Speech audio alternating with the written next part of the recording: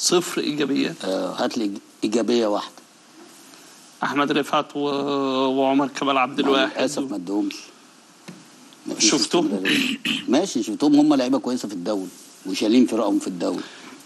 يعني لما تشوفهم قدام المنتخبات وفي هم ما خدوش الفرصة كاملة عشان نقدر نحكم عليهم. هم لعيبة كويسة وأثبتوا. وزي ما أبو الدهب قال وسمير قال إن هم احرجوا الراجل. فالراجل بيوسع أماكن لناس معينة. واخد بالك؟ فمش عايز يلعبهم عشان ما تجيش انت فيما بعد ما ياخدش أحمد رفعت. انت تقول له لا إزاي؟ ده جاب لك البطولة العربية.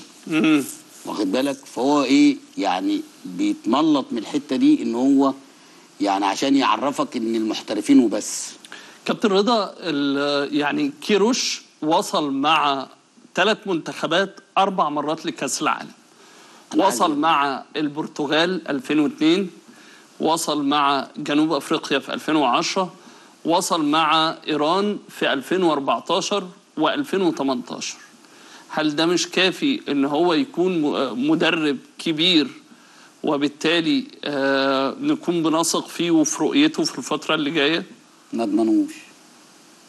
يعني أنت عمال تقول لي وصل أربع مرات أنت بتقول لي من سنة 2000 شوف سنة 2000 ده 2002 كان عنده كام سنة؟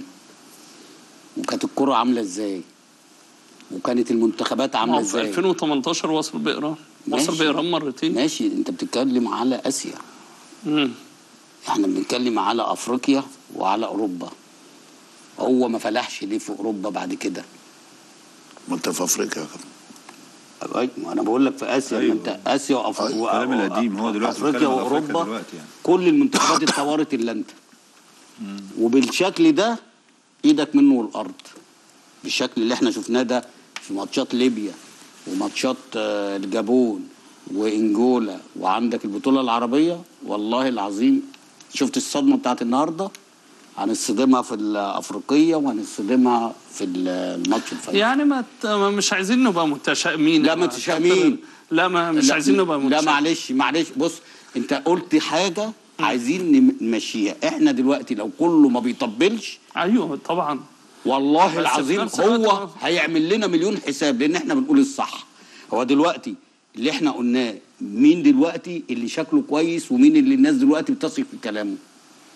ما بالك بقى لو كل الدنيا كلها بتقول الكلام ده؟ هو هيعمل مليون حساب قبل ما يستبعد لعيب قبل ما يضم لعيب قبل ما يلعب أي ماتش عشان هيقول لك إن في ناس أعدالي وفاهمه أنا بعمل إيه وهم هيقولوا إيه.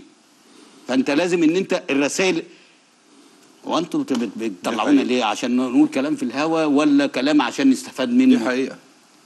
هو دلوقتي البرنامج الوحيد اللي قال إن الراجل ده مش هيعمل حاجة في البطولة العربية. وقلت لكم من أول ما هو قال التصريح لا البطولة العربية ولا البطولة الأفريقية ده النهارده في حسرة لكل جماهير مصر بعد الجون اللي دخل فينا ده.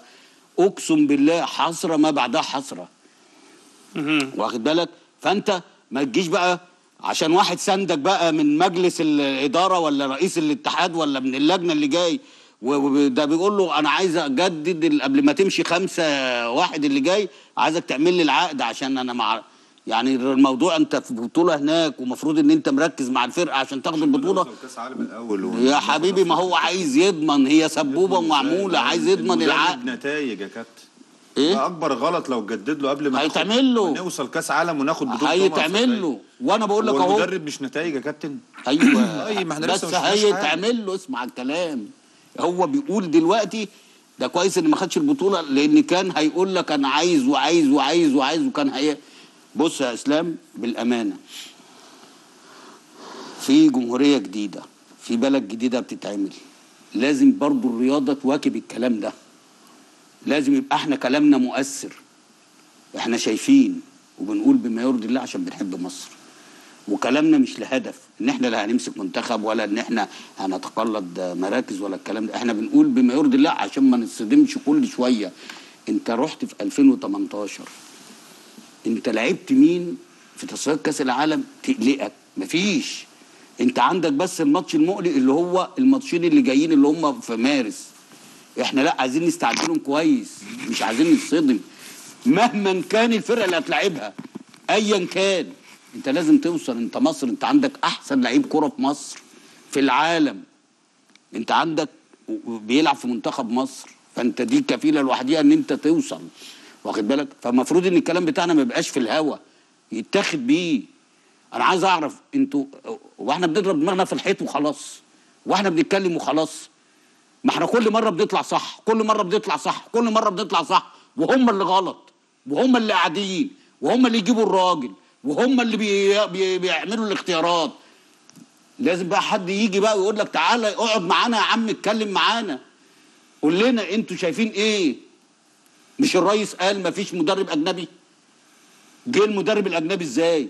سواء هو ولا فنجاده. ما تجننوناش بقى.